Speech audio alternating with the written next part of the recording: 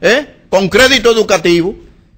Pero es que tú Ah, eres una y se excepción. murieron. No, señor. Tú eres una excepción. No, yo, yo no soy ninguna excepción. Aquí hay maestros que están en mejores condiciones económicas Hay maestros que son ricos. Ah. Pero de un millón hay un rico, rico porque heredó de su fortuna, pero no por la migaja que Eh. le dan. Entonces tú te imaginas Sí. que el presidente Leonel Fernández en foros internacionales, hablando hoy en un foro, al otro día viene República Dominicana y le envía a sus congresistas que cuidado, es una cuidado, que cuidado, no que cuidado, si aprueban el 4% a educación del Producto Interno En Bruto. los países Oigan, donde la son doble pose, doble moral. En los países No es le- verdad que un pueblo puede crecer y desarrollarse donde no invierte en educación. Óyeme. Mas, sin embargo, en gasto corriente y entre Es comillas. caricaturizando que Oye, va, ¿eh? gasto corriente, tú te vas a ese presupuesto que yo, que yo te lo deposité No lo y vas a a- encontrar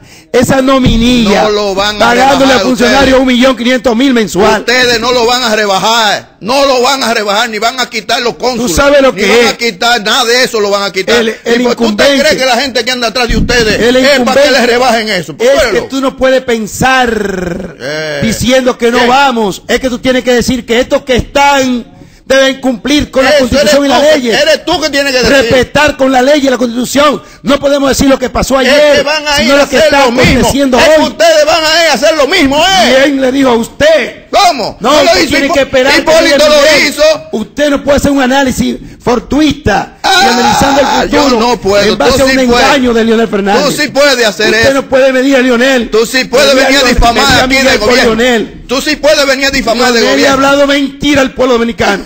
¿O acaso no fue No. Lionel que te dijo a ti que te iba a bajar Yo con el gasoil, Él no me lo dijo a mí. no. el gas, Él lo dijo en un la discurso. gasolina, Él el pan, la habichuela, el aceite, el arroz, Él lo dijo en un discurso. la leche a los niños, Sí, lo dijo seguridad ciudadana, Lo dijo. seguridad Y te lo social, dijo a ti también. la juventud. Y te lo dijo a ti Sí, también. mí también. Y no fuiste capaz de detener el triunfo de Lionel. Y no fuiste capaz de detener el triunfo de Lionel. Porque tú. compraron a los infelices de de- este pueblo. que está más cerca de los sectores de poder se que yo. De la miseria de este pueblo. Los someten a una miseria, a una pobreza extrema, para luego comprarle el voto por 200 pesos. Tú estás más cerca Esa de los la verdad, de poder que yo. Tú. Por Tú no eso el pueblo dominicano Y hace denuncia ahí de que- que Está que esperando Marino el 16 de mayo para votar abrumadoramente por Miguel Vargas y sacar a Leonel del Palacio Nacional. No, estoy calmado. Yo voy a beber. Pero Bueno, que no estoy pasa nada. orientando Dame, una no pregunta, una pregunta eh, producto del desconocimiento, la Porque ignorancia. con Miguel, Jorge, Pero déjame hablar. No, con Miguel no hay riesgo. déjame perder. hablar, ¿eh? No hay riesgo de perder Ese con Miguel discurso- Vargas. Ese No, no, tiene que quitarle el sello ya. eso. Una pregunta basada en la ignorancia mía, el desconocimiento. Humilde. Y, eh, eh, verdad que eso es, debo destacar lo que desconozco. Qué humilde. Y tú hablas del 4%. ¿Cuándo se aprobó esa ley? ¿En qué periodo se aprobó esa ley? ¿Qué partido estaba en el Después de gobierno? 96, 97. ¿Qué partido estaba en el sí. gobierno? ¿Qué partido El gobernaba? PLD, el Eh, per- PLD. perdón, perdón, perdón, perdón. Déjame terminar la pregunta, eh, ¿verdad? No te acelere. ¿Qué partido gobernaba el del 2000 al 2004? No, la- yo te voy a contestar. Pero espérate, respóndeme la Sí, pregunta sí, misma como yo respuesta, quiero. respuesta. 96-2000, esa ley se generó en el No. gobierno de Leonel Fernández. Y ¿Qué partido estaba en el 2000, promulgó la 2004? ley y al otro día ya estaba negándole el 4%. ¿Qué partido? La ley. Pe- no es doble pose. ¿Qué no par- es doble moral. Pero espérate, el por Dios. PRD Y la llevó Oye, te uno- voy a decir. 2.82. Oye, lo más Miren, alto, señores, el PRD gobernó en este educación. país del 2000 al 2004 con una ley aprobada y no hizo nada. No hizo nada tampoco.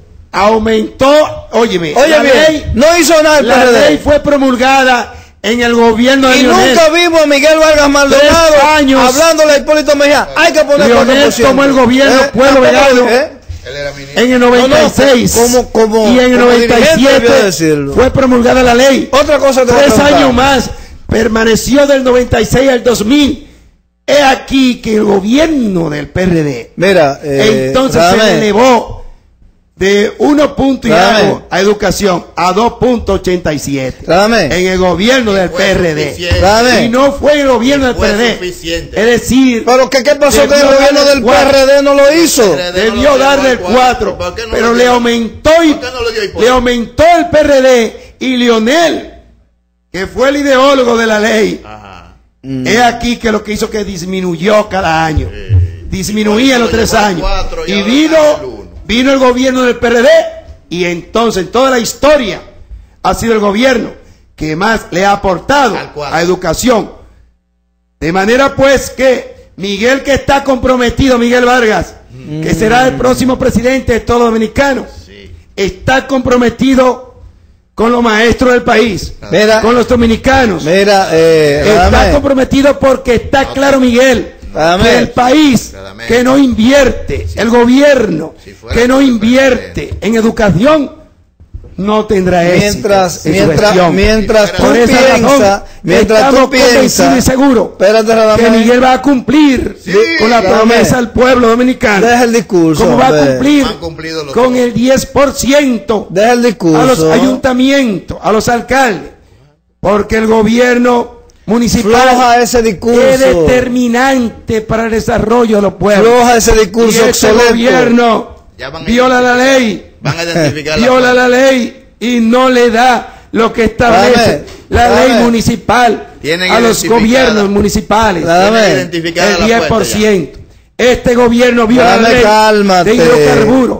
Si subes, si sube, Sube. sube. Y si baja, baja. Baja por el suelo el barril de petróleo. Pero este gobierno mentiroso, este gobierno infame, Eh. este gobierno que ha Dame, llevado a la familia aguántate. Dame. ¿Qué tú vas a decir? Leonel Fernández Cálmate, al pueblo dominicano. cálmate. Este programa tiene una característica ¿Qué tú vas a Radamés, decir el que 17 no es de discurso, perdón. Este programa no es de discurso. No este te programa, pierdas el 17 de mayo. Es un de programa- verdades. perdón, no dame. Que no 17. tú Perdón. me confunde igual que Plutarco, jefe de campaña de Lionel en la romana, haciéndose pasar Adelante la por periodista aquí en La Vega. o sea que yo soy igual que Plutarco. Sí, tú eres, tú eres. Buenas tardes. Adelante. Bueno, Sí, adelante. oye, usted, eh, ¿ustedes son entrevistadores o entrevistados? Las dos cosas. Porque Mire, Radamés no deja de eh, eh, papeles eh, aquí. Pregúntale a Radamés qué es él. No, lo que pasa es Mire, que no, no, ellos, no, pero espérate. ellos, Ah, pero ven ellos acá, no son entrevistadores, ellos Radamés. quieren hacer exposiciones defendiendo a Ah. Ellos quieren hacer el papel de un PLDista, pero un PLDista como el que más. Radamés. Y lo hacen públicamente y entonces el, el amigo que está observando, Radamés. escuchando No, y viendo, porque dice, sí. pero debió ser, Pregúntale a pero él. ahí está representado Leonel Fernández o. Sánchez o, o el colega diputado eh, Hidalgo. Ahí tengo yo dos La pregunta, la pregunta no te la hicieron ¿Cuál es a ti. tuyo aquí? Lo primero, la pregunta no te la hicieron a ti. La pregunta no la hicieron a nosotros. Yo voy a contestarle al distinguido caballero con todo el respeto que, Que no se dijo merece. cómo se llama. Sí, eh, que este programa, el diseño de este programa nos corresponde a nosotros y, la, y el formato que nosotros le damos nos corresponde a nosotros. Pero además, Radamé ha venido aquí eh, no a una entrevista, él vino a hacer discurso. Mm, a Inapropiado. Inapropiado porque lo que se entiende en una entrevista No son preguntas y respuestas. Y es lo que vino es a hacer discurso. Nosotros usted- le aceptamos a Radamés sus cosas, porque a Radamés hay que quererlo como, Como es. quiera. Que soy tu defensor. Tú no, soy sabes. abogado. El, ve- Bueno, el te 14 de febrero te defendí mientras tú estabas en Miami. Pero ¿qué fue lo que dijeron de mí? Porque No, yo no, no, tengo dijeron para qué defenderse. No, no, no, Oye, yo soy un hombre No, no, yo no voy a público. repetir eso jamás, Oye, no va a salir yo eso. soy un hombre público. Y tú y yo, un hemos visto. común tuyo y mío, que eso Eh, fue lo que me dolió más. Tú y yo nos hemos visto en muchísimos sitios. Plinio de los Santos. Espérate. No, Plinio ¿Y- de los Santos. ¿El qué? Fue el que. Fue el oye, difamador. No, difamando de ti. Después de unos compañeros de trabajo que tú tienes aquí, míralo ahí. Eh, Ahí estoy yo de acuerdo con Radamés. vámonos a comerciales. Gracias, gracias. En breve regresamos con Jorge Morel y Marino Concepción en Meridiano Vegano.